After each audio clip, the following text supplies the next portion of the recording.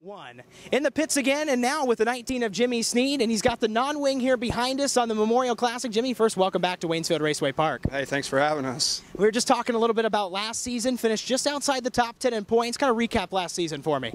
Uh, just our good nights were really good, and our bad nights were really bad. I mean, there was just nothing in between. A couple top fives, and if we weren't in the top 10, we didn't make the show. So, just got to make our bad nights a little bit better. Looking into the season, last week, not a best, or excuse me, the first race of the season, not the best night for you. Yep. But you said Jack Hewitt wasn't here. Yeah, he usually, uh, it's a lot of confidence when he helps me out just because I know he knows what he's doing, what he's talking about. So I think it will be a lot better tonight with him here to help us set the car up.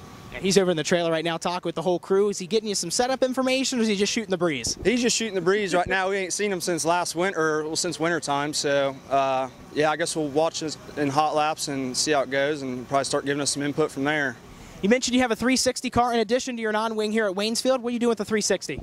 Uh, we're just kind of, we just don't really have, uh, my dad's just getting a little bit older, so we don't really have the crew and, and all that stuff. And he just kind of wants to stay close to home, so we just kind of do one night a weekend for right now. But we still got that stuff that we can go do if, if we get good enough to where we feel like we can compete.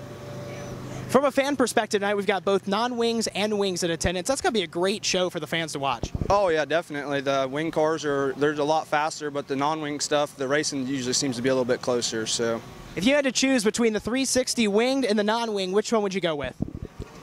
uh, Tough like, question, isn't it? Yeah, they're both fun. I, the non-wing, I think, I, or I've had a little bit more. I've just done better in that. I just really haven't ran as much wing stuff, but the wing stuff's really cool because it's just a lot faster. But you just you're not turning very much. You're not, you can't make mistakes. Couldn't ask for better weather today, could we? No, it's perfect out today. Nice day of the week so far. Have you checked out the track at all to see the track conditions? Uh, yeah, I looked at it a little bit. Uh, I don't think it'll last very long with uh, both classes of sprint cars here, probably, but. Be interesting to, This will be a good show. be interesting to see what happens tonight. Yep, for sure, definitely. Anybody you want to thank?